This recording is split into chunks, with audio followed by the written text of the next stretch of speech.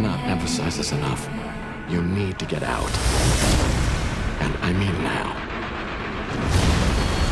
Because even though this is happening here in California,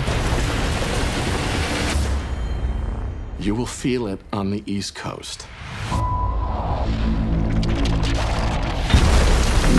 Everybody down!